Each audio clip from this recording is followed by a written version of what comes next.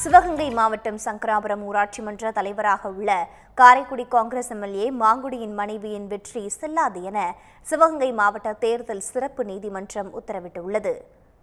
சிவகங்கை மாவட்டம் காரைக்குடி அருகே உள்ள சங்கராபுரம் ஊராட்சி தலைவர் பதவிக்கு இரண்டாயிரத்து பத்தொன்பதாம் ஆண்டு நடந்த தேர்தலில் மாங்குடி மனைவி தேவி போட்டியிட்டார். இவரை எதிர்த்து தனியார் பொறியியல் கல்லூரி நிர்வாகி ஐயப்பனின் மனைவி பிரியதர்ஷினி போட்டியிட்டார்.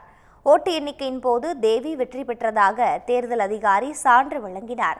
இதற்கு பிரியதர்ஷினி எதிர்ப்பு தெரிவித்த நிலையில் மறு வாக்கு எண்ணிக்கை நடத்தப்பட்டது. இதில் பிரியதர்ஷினி வெற்றி பெற்றதாக அறிவிக்கப்பட்டு சான்றிதழ் வழங்கப்பட்டது. இதனை எதிர்த்து தேவி தொடர்ந்த வழக்கில் முதலில் கொடுத்த சான்றிதழ் செல்லும் என உயர்நீதிமன்றம் உத்தரவிட்டது. உச்சநீதிமன்றத்தின் உத்தரவுப்படி தேவியின் வெற்றியை எதிர்த்து பிரியதர்ஷினி மாவட்ட தேர்தல் நீதிமன்றத்தில் வழக்கு தொடர்ந்திருந்தார். இந்நிலையில் காரைக்குடி காங்கிரஸ் எம்எல்ஏ மாங்குடியின் மனைவி வெற்றி செல்லாது என தேர்தல் நீதிமன்ற நீதிபதி ஸ்வர்ணம் ஜெய நடராஜன் தீர்ப்பளித்தார். செய்திகளை உடனுக்குடன் தெரிந்து கொள்ள தமிழ் ஜனம் யூடியூப் பக்கத்தை சப்ஸ்கிரைப் செய்யுங்கள்.